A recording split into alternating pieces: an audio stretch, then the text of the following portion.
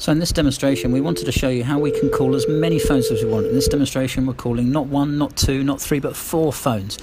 And we're dialing a London number, and here you go, the phones are starting to ring.